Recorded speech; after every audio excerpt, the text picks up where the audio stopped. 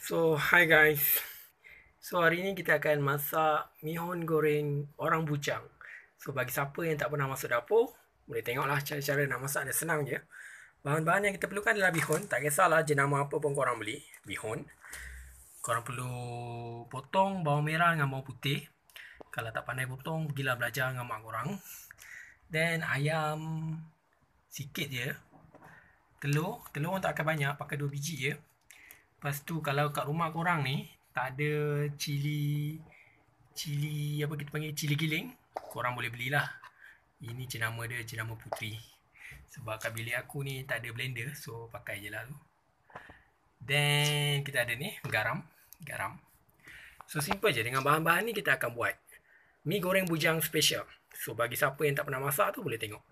Ni cara special sikit novelty yang kita ada kat sini kita pakai periuk yang kita panggil periuk nasi. Maka periuk nasi je masak. Okey, kalau tak percaya, kita tengok. So, step pertama sekali yang korang kena buat adalah korang kena celur mi ni ataupun korang rendam dulu setengah jam pakai air biasa. Lepas tu celur pakai panas. Kalau korang malas, korang kena adjust lah temperature dia. Jangan panas sangat. Jangan sejuk sangat. Kalau panas sangat, nanti dia habislah mi dia jadi lodoh. Maksudnya lembek gila. Tak sedap lah. Korang kena adjust air tu. Lepas tu open lah kita punya ni periuk nasi. Ha, tengok. Kita tengah panaskan minyak. Kita tunggu minyak panas dulu ya. Sebab periuk nasi ni ambil masa lama sikit. Okey, kalau dia dah panas tu. Oh. Kalau dia dah panas. Kita masukkan lah kita punya ni. Kita punya bawang. Kasih tumis dulu bawang. Tumis, tumis, tumis. Kasih dia. Kasih bawang ni masak tu Kasih naik bau. Okay Tumis dulu sebab dia ambil masa Pakai periuk nasi.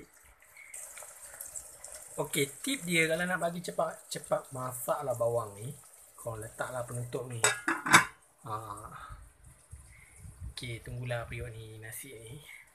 Dia ambil masa sikit lah Sebab Berbanding dengan gas Heat yang dia supply ni Tak tinggi sangat Sebab selamat lah Sebab kat bilik ni semua ada periuk nasi je.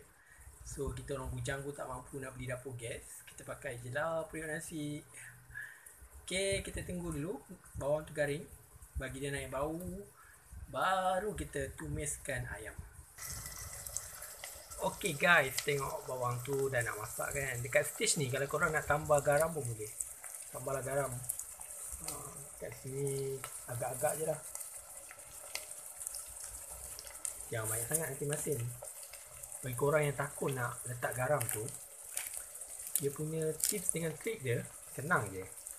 Kalau korang pakai sudu Separuh sudu je lah. Tengok keadaan mi. Kalau mi satu paket tadi 400 gram Korang pakai separuh sudu penuh. Kalau kau pakai Macam aku pakai ni Mi sikit je dalam separuh. Garam tu dalam suku lah sikit je. Jangan banyak sangat nanti masin Tips dia biar tawar jangan masin. Kalau tawar kita boleh adjust makan dengan sos. Kalau masin memang tak makan lah jawabnya. Okey. Okey, next korang masukkan ayam. Dah masukkan ayam. Gaul, gaul, gaul, gaul. Bagi ayam tu masak ya. Okey, sebab kali ni kita masak pakai periuk nasi ya. So hati-hati sikit lah. Ayam tu pastikan dia betul-betul masak. Tengok tu warna pink lagi kan. Tu masa dia tak, tak masak lagi. Kalau tak masak, nanti possibility untuk korang sakit perut tu tinggi. Nak bagi dia masak, lagi kita tutup lah. Tutup sebab apa? Pressure. Kalau kita apply pressure in high pressure, the temperature will also rise. Adanya pressure, temperature akan meningkat, maka ayam kita tu cepatlah masak. Okay, tunggu kejap lagi. Kita punya ni, hero kita pada hari ni. Hero kita tak masuk lagi. Ni. Dan lagi satu jangan lupa, sambal kita Ha, sambal pun tak masuk lagi. Tunggu dulu ayam masak eh. Baru masukkan semua tu. Okey, setelah 2 minit kita tutup tadi, tengok. Dah warna pink ayam tu dah tak ada kan. Dah macam masak lah juga. Then korang tunggu kejap lagi. Kejap lagi bagi dia mendidih. Ada trik lagi satu kalau korang nak cepat ayam tu masak. Korang potong kecil lagi. Ni aku malas nak potong kecil. Potong besar-besar sikit. Supaya kalau gigit tu kalau besar dia ada juice-juice.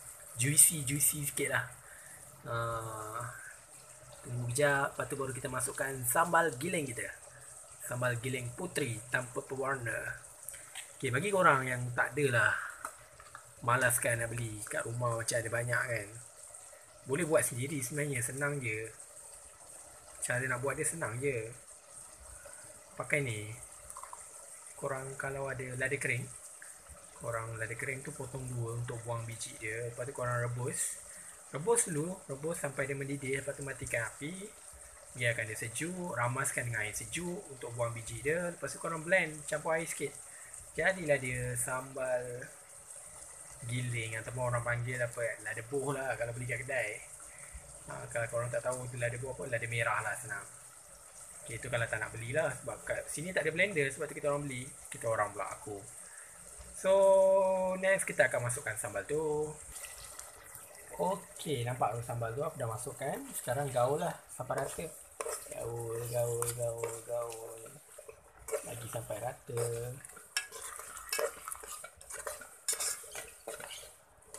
sampai semua jadi warna merah.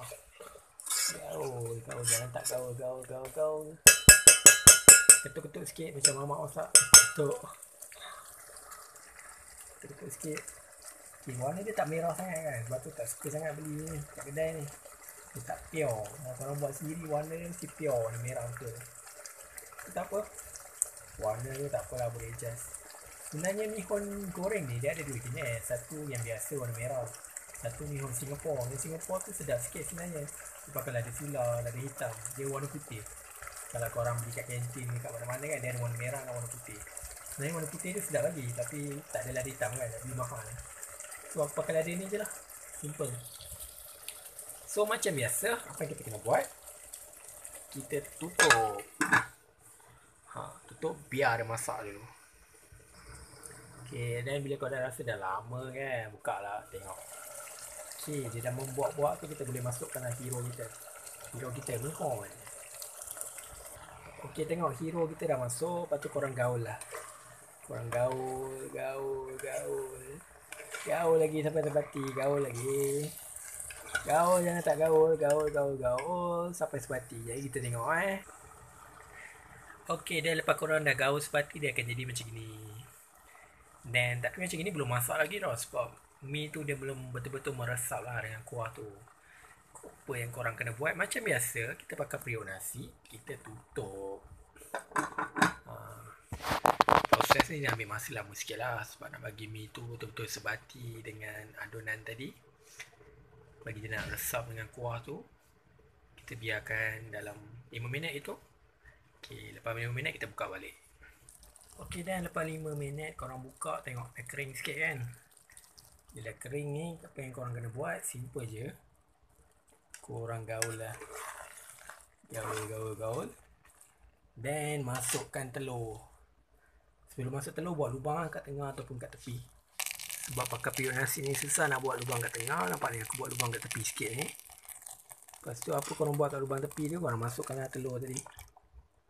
Tak kisahlah sebiji ke dua biji ke tiga biji ke. Ke korang lah korang nak makan banyak. Lepas tu tutup tu Bagi telur masak. Dan dah masak sikit kita gaul nanti. Okay nampak?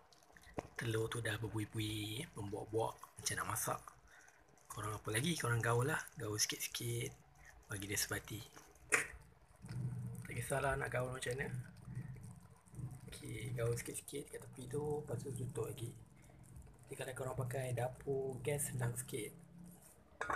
Tapi kalau korang tak ada. Macam aku ada periuk nasi je. Macam inilah Kita masak Tutup. Tunggu kejap Tunggu kejap Tunggu kejap. Dah ambil masa lah And finally Siaplah mi goreng kita Mi goreng orang bujang Biasa je. So kalau korang nak warna dia cantik sikit Letaklah tabur lada ke Lada merah Cili merah Lada Besar tu Lada merah Cili merah yang besar Warna hijau ke warna merah. Kalau korang nak taruh sayur pun boleh lah uh, Tapi kalau korang tak ada budget Macam aku nak simple je. Okay simple je. Kita masak. Last kali Siap lah Mi goreng bujang Ada ayam sikit Telur sikit Lada sikit Bawang sikit. Jadilah mi goreng Halus Mi goreng Mi hon goreng. Okay selamat mencuba. Ciao